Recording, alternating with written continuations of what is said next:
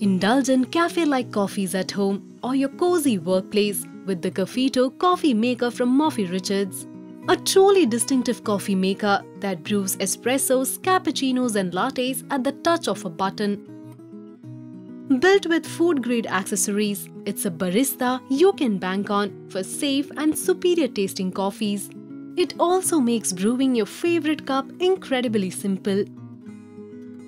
Welcome to the demo of Morphy Richards Kaffeto Coffee Maker.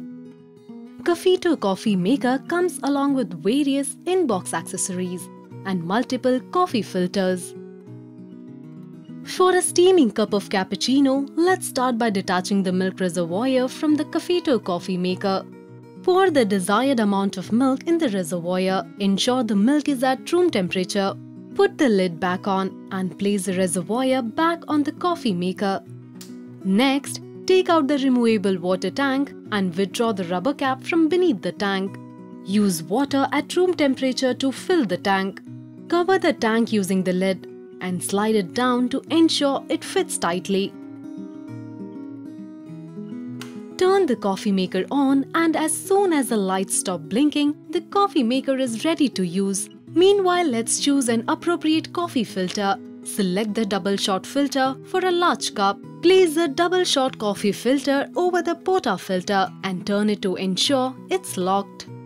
Spoon in roasted ground coffee and with the help of a tamper scoop, clean excess coffee from the rim. Place the porta filter beneath the brew head and turn it towards the right to align it with the lock symbol. Adjust the frothing tube and the froth control knob to make a frothy cup of cappuccino. Now let's make cappuccino with the press of a button. Press the cappuccino button once for a small cup and twice to brew a large cup of cappuccino. To add more foam, press and hold the cappuccino button for 3 seconds. Delicious cup of cappuccino is ready. Have the joy of making espresso and latte in a matter of minutes. Morphy Richards Kaffeto enhances coffee brewing and makes it simple.